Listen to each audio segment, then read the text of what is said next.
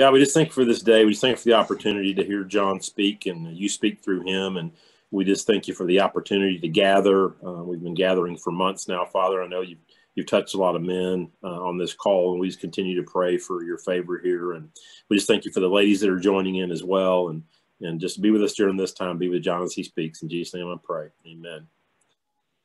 Well, I'll introduce Jon. Uh, Jon and I um, have just recently met. We had dinner the other night and just started talking. And, and I asked Jon to, to speak tonight based on uh, what he does. And he was, I mean, just immediately said yes, didn't even hesitate. So certainly appreciate him doing that. But uh, Jon is the president and CEO of the Glo- the uh, Greater Europe Mission Board. And uh, so we're just excited to have him on here. Um, he's got uh, some uh, great qualifications. And I tell you what, uh, I was reading through his bio and just going, wow, this is some really good stuff. In 2014, he was appointed CNN he- Hero of the Year. And in 2015, by the Queen, he was given the British Empire Medal. So, guys, we're uh, we're in for a treat here tonight. So, yeah, Mike Beeson is doing this. So we're not worthy. We're not no, hey, hey, Beeson likes a genuine fleck like the Queen. So go ahead, Mike. so, uh, yeah, without further ado, I'll turn it over to Mr. Jon Burns. Jon, we're excited to have you. Well, thank you. It's a real honor, actually. Um, it might be difficult for us because I don't speak American, and my guess is you guys don't hear in English. So we'll we should probably have like uh, Netflix. We should have like little expressions along the bottom so you can understand me. And uh, and I do get a bit excited at times and speak too quick. So just hopefully enough words and then fill in your own blanks to make it the talk you need to hear today. And um, it's great you mentioned that, Dan, because uh, weirdly, I decided to go back to a talk I wrote three years ago, just this morning. And I thought, you know what? I haven't spoke on Worth the Risk for ages. And I just felt it was right for you guys tonight. So I didn't know you were going to mention the book. I didn't know you'd read it. But here's a few thoughts um, I want to share with you. Let me just introduce myself with a, a little story. Um, probably three soccer stadiums changed my life. Got interrupted me three times in soccer stadiums. The first one really was when I was with my grandfather and I was eight years old. And my grandfather, hello, Leslie, sneaking in. Um, my grandfather was a huge soccer fan and took me to Middlesbrough, my local team. And we were playing a team called Everton. And uh, the striker, the main forward for Everton, scored a goal against our team, and my grandfather stood up and started clapping the wrong striker. Now, the reason he did it was this guy had just scored 50 goals in a season. It had never been done. It's only been done since by Ronaldo. And my grandfather just knew it was the right, honourable thing to do, is reckon, recognizing. Well, I'm eight years old and I'm suddenly learning new words as all these people are shouting and swearing at my granddad, right? And I'm, I'm trying to pull him down like, granddad, we're going to get our heads kicked in. Sit down, sit down. And he's just, no, just clap, clap, clap. And it seemed like an eternity, and of course it wasn't, till eventually other men start standing, it was only men in stadiums back then, one by one joined him. And I kind of, uh, I got to speak at his funeral. I remembered what that did put in me, that if, if uh, good people are prepared to take a risk and do the right thing courageously, people will follow. The next stadium that changed my life was when I was 17 and Dr. Billy Graham came to the Northeast to do an evangelistic crusade. And he was preaching actually up at my uh, neighbouring stadium, Sunderland. They were like our mortal enemies. So me and my crazy friends, I wasn't a follower of Jesus at this point in my life. And uh, me and my crazy friends jumped on the Baptist church's bus, went up there because I knew you got this chance to become a Christian. And so I told my friends, let's all pretend to become Christians and we'll steal turf off the field because they're our enemies and that'll show them right. So actually, my wife, uh, Sandra, she was actually on the same bus because she was on the counselling team. I was on the steel turf team. Anyway, we went along six nights in a row, and one by one, my mates got saved, and I was the last of them. I was the last of them because I knew it was all or nothing. My uh, parents were committed Christians and church planters. My grandfather had got saved when he was 45 and had been a church planter. And so I knew if I was in, I was all in and I knew what that cost would be like. And so at the age of 17 in a soccer stadium of the enemy, Sunderland, I gave my life to Jesus. A year later, I got called into full-time Christian ministry at a, a conference. And so I went to work. Um, eventually, I was a policeman for a while and then worked for the Lord, working for a church and then a couple of youth ministries. And I had this uh, habit on the side where I used to go and watch soccer around the world. And I was in a stadium called Stadio da Luz, which means in the presence of the light, in uh, Portugal. And England were playing France. And middle of the second half, I had this kind of epiphany moment, really. And maybe it was the Lord. I'm assuming it was the Lord. And I kind of asked myself the question what if I'm the only evangelist in this stadium? There was 45,000 England fans there in a 65,000 crowd. And I remember falling into my seat going, Lord, leave me alone. It's my only hobby. You know, I want to just have this one little bit to myself. And started to think, well, how would I reach them? How would I reach? Probably not like Billy did. So how would I reach the football fans like me? And so we started an organization called Lionsraw. And it was that organization 15 years later that got the award from the Queen and CNN for us. We started to use soccer for social change. We took, we got Christian guys to take their non-Christian friends on basically humanitarian mission trips. And, uh, and it was an incredible, incredible 20 years. And eventually that's what brought me here to America. I tell these stories because I want you to hear, want you to hear an undertone in it. And that undertone is about risk and courage. You know, starting an adventure with Jesus is taking a risk when we get saved, right? You know, committing yourself to full time, Lord, whatever you want me to do, whenever you want me to do it, making him Lord is a risk. I've had all kinds of risks I've had to take in my life. And uh, a very wise man once said, faith is spelled R I S K. Faith is spelled risk. And you know, um, all of us have to take risks all the time. Some of us are a bit risk averse, if we're honest. But sometimes the Lord interrupts us and calls us to take a risk. If you've got your Bibles, let's open it at Nehemiah 1 and 2, probably one of my favorite passages in the Bible. I'm sure you've looked at it a million times. I'm going to flick through and pick out a couple of key things. But you'll know the story. It's the, the Jews are in exile. And uh, Nehemiah, we soon discover at the end of this first chapter, has risen to a pretty high position in the local government. Um, but of course, he longs for home, as I do. I'm heading back there next week. He longs for home and wonders what's going on in Jerusalem. He, he probably hears that the temple's getting rebuilt. It's probably happening around the time of the book of Ezra. And, um, and then news comes, and we'll pick it up at verse 2 in chapter 1. Hanani, one of my brothers, came to visit me with some other men who had just arrived from Judah. I asked them about the Jews who had returned there from captivity and how things were going in Jerusalem. They said to me, Things are not going well for those who returned to the province of Judah. They're in great trouble and disgrace. The wall of Jerusalem has been torn down, its gates have been burned and destroyed by fire. When I heard this, I sat down and I wept. In fact, for days I mourned, fasted, and prayed to the God of heaven. And then I said in this wonderful intercessory prayer that I'm sure you've read before, where he tries to persuade God to do what he believes is the right thing, confesses his sins and, and asks the Lord. You pick it up there and just at the end of verse 11, oh Lord, please hear my prayer. Listen to the prayers of those who delight in honoring you. Please grant me success today by making the king favorable to me. Put it into his heart to be kind to me. In those days, I was cupbearer to the king you probably know this, but you know, the cupbearer to the king wasn't like the lowly servant, it was the most trusted servant. This guy's basically the prime minister to the king.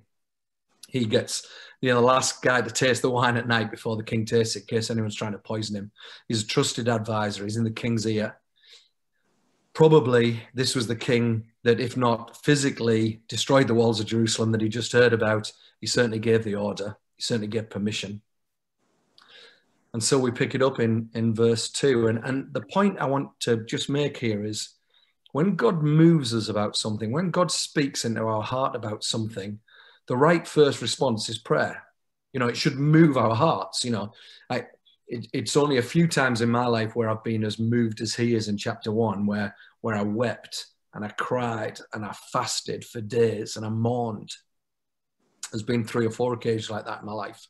And then eventually you find the words you know sometimes prayer is the natural response. Sometimes it's so deep the pain we might be feeling on behalf of someone else or a global situation that actually it's a few days before we can even find the words. We just feel it as nehemiah does. And then he says grant me favor lord Let's pick it up at chapter 2. Early the following spring in the month of Nisan, not just a car maker, during the 20th year of King Artaxerxes' reign, I was serving the king his wine. I had never before appeared sad in his presence. So the king asked me, Why are you looking so sad? You don't look sick to me. You must be deeply troubled. Then I was terrified. Let me pause that there. You don't look sad to King Artaxerxes. He's the psycho killer of Persia. You know, if you watch that terrible movie 300, that's him, right? He he just takes people out. And to even turn up with sadness in his eyes, risked his head being cutting off. No wonder he's terrified. And so he replies, Long live the king. How can I not be sad? For the city where my ancestors are buried is in ruins, and the gates have been destroyed by fire. The king asked, Well, how can I help? With a prayer to the God of heaven, I replied, If it pleases the king, and if you are pleased with me, send me to rebuild the city where my ancestors are buried. The king asks him some questions and gives him the money and the letters of recommendation and sends him. This is risk like I've never known. This is, this is what being driven to your knees leads to. When, when something moves in our heart so deeply that we are moved that deeply to real intercession, God rarely leaves us on our knees. He often gets us to stand up and start to become the answers to the prayers we've prayed. Uh, footnote be careful what you pray for, because you might start to become the answers to those prayers. I had a situation like this in my own life that I don't talk about, and I'm sure this isn't getting played out anywhere. But uh, 2007, uh, I went to South Africa for the first time, and we were planning to do a big football project there with this Lions organization in 2010. And literally, my second day in South Africa, I met a Zulu chief that was about to be enthroned, and he asked me if I'd go to his ceremony on the Saturday. And so myself, another English guy, and a BBC camera crew were the only white people with 25,000 Zulus in the Valley of a Thousand Hills just inside Durban. And the reason we were there was God had broke our heart about the AIDS issue, particularly amongst young African kids. And we'd chosen this valley because we'd worked out it was the world's epicenter of the AIDS epidemic. And we knew the World Cup was coming to South Africa. And we said, Let's go there. You know, the World Cup's going to pass these kids by. We know they're soccer obsessed. Let's go there and just befriend these kids. And as we started to look at it, we realized there was some things we could do about sexual health and education. But we also knew that the Zulus, you won't like to hear this, but this is what they believed. They believed AIDS was invented by Americans to keep black people down. That's what they believed. At the same time, they believed the higher you were in society, the more women you're allowed to have. And so it was, uh, you know, that's why AIDS went rampant through Africa. Anyway, long story short, I could tell the story for hours, but I go to this enthronement ceremony and the Zulu king turns up. And after the end of the ceremony, I get asked to go and join the king, the mayor of Durban, and this chief Mlaba in a little private tent. And they asked me, um, what do you think of Zulu culture? I said, well, I've only been here three days, but it's amazing. I love, I love, I love everything about it. And, uh, and they said, well, what do you think needs to change to stop the spread of AIDS. And uh, I tried to bottle out a bit. I said, well, to be honest, I don't feel qualified to answer that question. And the Zulu King, the only thing he's ever said to me, he said, well, you're here, so answer. And I instantly felt like Nehemiah in front of the king, like, this could be my head chopped off here. You know, I get this wrong. You know, am I'm going to challenge the 18 wives he's got. And so the only answer, and I think it was the Lord gave me the words, I said, um, well, I, I think it's good to be passionate, but we need to be passionate about the right things. It's good to fight, but we need to fight against injustice. And I think sex is great, but it's meant to be with one woman for the rest of your life. And in the back of my mind, I thought, these were the last words of Jon Burns. You know, it's like, off with his head. And actually, it was incredible the reaction by them. We got invited into the into the area. You know, people thought it was too dangerous to work there. The Zulu King promised me would be under his protection and he said, Help us, help us change. And it was the start of an incredible journey. It still goes on today. We still feed 10,000 kids in that valley every single day through donors that help us through Lionsraw. And we go back every year with about 50, 60 guys and build another school and something else. I think serving the Lord is worth taking a risk for because he started it, right? You know, look, you look at the cost of Christ in fulfilling his calling and mission. You know, he emptied himself of everything, emptied himself of heaven, came to earth. We're about to celebrate as this helpless child in a smelly stable, emptied himself of all his regency and became like nothing. Why? Well, because you're worth the risk. You were the worth the risk to him. Or, or picture Christ in the garden as we remember at Easter, and he's driven to his knees and there's blood, there's sweat from his head. And he says, You know, Lord, if you can take this cup from me, take it, but not my will, but yours. Well, why? Why take such a crazy risk? Because you and I are worth it to him. Yeah, risk's difficult for all of us. But God regularly interrupts us if we allow him to. He moves us out of our comfort zone, physically, geographically, relationally. He calls for faith. Take a risk.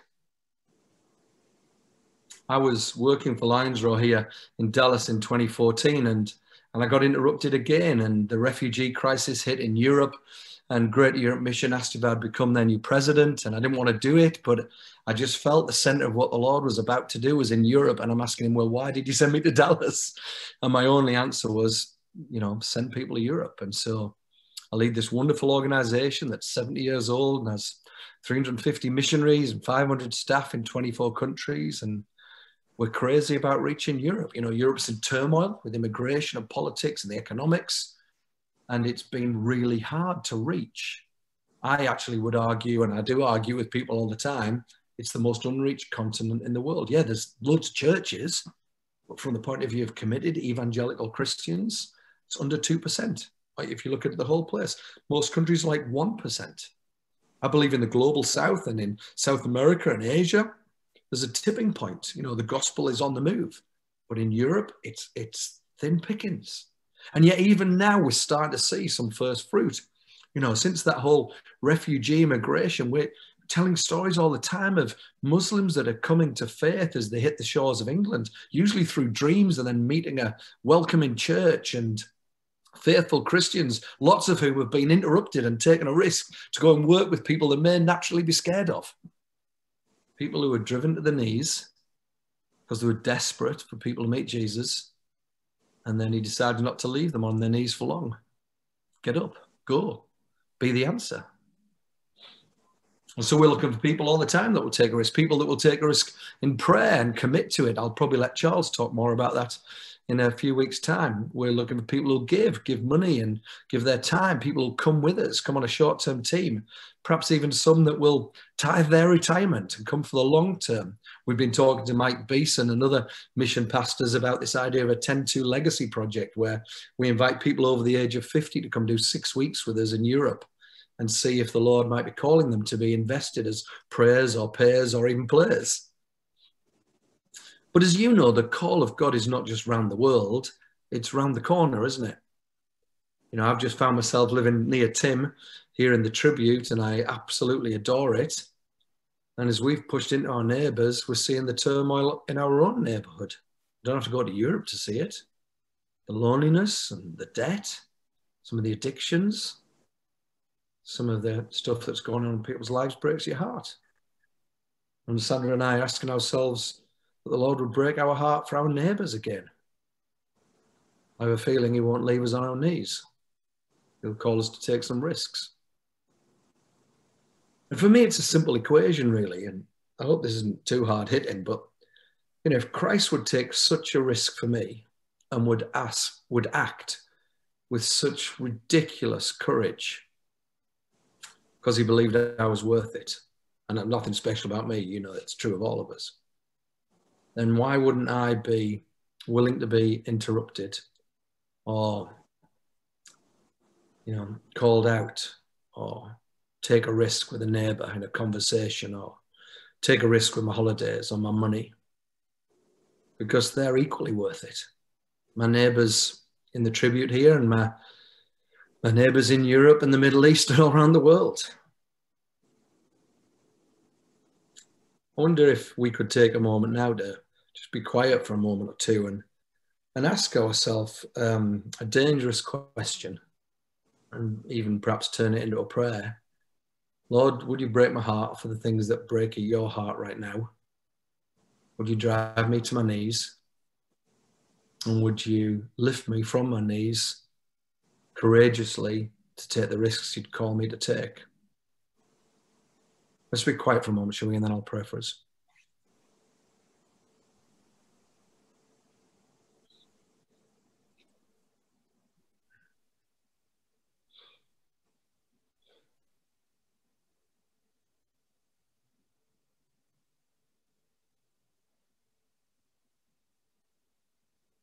And Lord Jesus, we marvel again at the ridiculous, stunning, costly sacrifice that you paid for us. Emptying yourself of heaven to come to this earth to live in the mess that we've got. And then even dying on a cross, a painful death because we were worth it.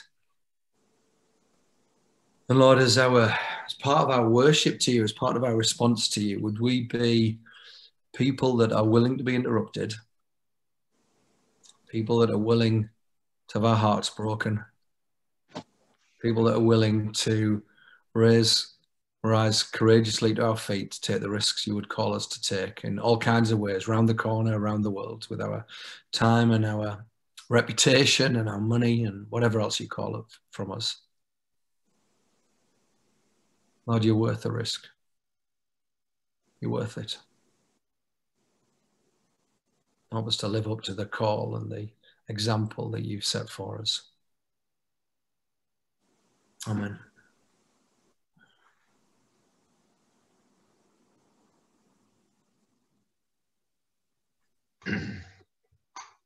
Jon, that was awesome.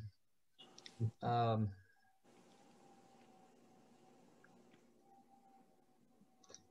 I have immediate a bunch of thoughts that are going through my head there was a a gentleman has recently stepped down to take a new position at a church, uh, and he shared the story about how he had heard the message from the pastor the year before out of Isaiah. I'm not sure what chapter it is this off the top of my head, but basically the young person's the person saying to God that yes, Lord, send me, I'm available, put me in. And he says it's he says I just started praying that dangerous prayer, knowing what might lay on the other side, and um, this is just a continuation. I mean, you even mentioned. I mean, he sends it says it right here in Nehemiah, and I forget what verse. I can't read it, but verse five that you send me to Judah. Yeah. And so I appreciate this powerful message. Anybody else have anything that they'd like to add or question ask Jon on?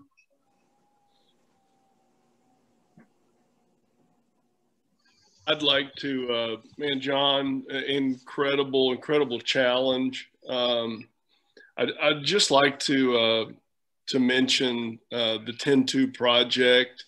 You know, Jon and myself and Mike Taylor and a whole bunch of other people have been talking about this off and on for several years. And you know you find you find adults in their early stage of life age 18 to 25 or 6 uh, most a lot of them are uh, a lot of them are single and, and or married and without kids and so they're you know they're certainly a lot more portable than perhaps a 40 year old with children and so forth but you know what about a 55 year old or a 60 year old yeah. Um, you know, our kids are gone. Karen's and my kids are gone.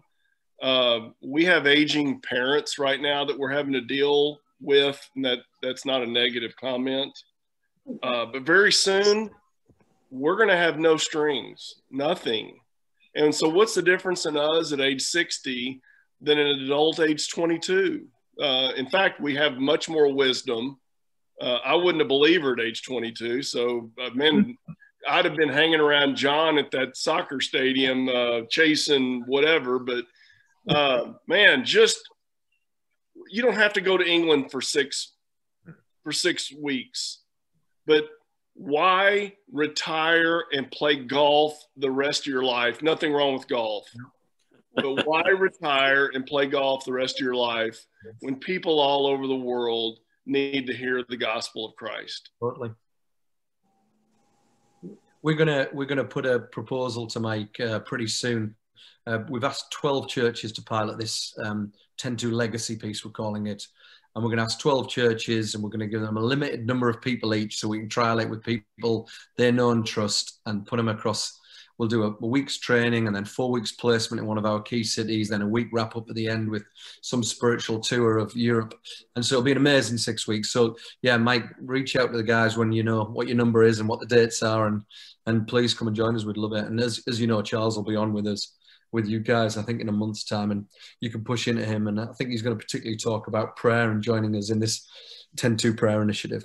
Yeah.